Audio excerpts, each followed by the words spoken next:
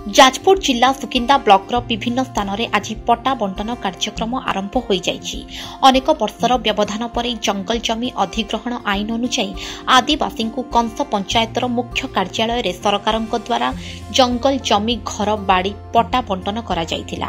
ଏହି ଯୋଜନାରେ କଂସ ପଞ୍ଚାୟତର ଶହେ ବାର ଜଣ ଆଦିବାସୀ ହିତାଧିକାରୀଙ୍କୁ ସୁକିନ୍ଦା ବିଧାୟକ ପ୍ରୀତିରଞ୍ଜନ ଘଡ଼େଇଙ୍କ ମୁଖ୍ୟ ଅତିଥି ଭାବେ ଯୋଗଦେଇ ପଟ୍ଟା ବଣ୍ଟନ କରିବା ସହ ଯଥାଶୀଘ୍ର ପଟ୍ଟା ଜମି ଚିହ୍ନଟ କରିବା ପାଇଁ ରାଜସ୍ୱ ବିଭାଗ ଅଧିକାରୀଙ୍କୁ ନିର୍ଦ୍ଦେଶ ଦେଇଥିଲେ ସ୍ଥାନୀୟ ବିଧାୟକ। ଯୋଗ୍ୟ ହିତାଧିକାରୀମାନଙ୍କୁ ପଟ୍ଟା ବଣ୍ଟନ ସହ ପ୍ରଧାନମନ୍ତ୍ରୀ ଆବାସ ଯୋଜନାରେ ପକ୍କା ଘର ନିର୍ମାଣ କାର୍ଯ୍ୟ ପାଇଁ ପ୍ରମାଣପତ୍ର ମଧ୍ୟ ଯୋଗାଇ ଦିଆଯାଇଛି। ଏସ୍ଆର୍ସିକେଏମ୍ଏସ୍ର ସାଧାରଣ ସମ୍ପାଦକ ନାରାୟଣ ଚନ୍ଦ୍ର ଧୀର ରାଜସ୍ୱ ନିରୀକ୍ଷକ ଦିଲ୍ଲୀପ ଚାତର ସରପଞ୍ଚ ରବୀନ୍ଦ୍ର କୁମାର ସାହୁ ପ୍ରଭାତ ପ୍ରଧାନ ଭଗବତୀ ମହାନ୍ତ ବାପି ବରାଳ ପ୍ରମୁଖ କାର୍ଯ୍ୟକ୍ରମକୁ ପରିଚାଳନା କରିଥିଲେ।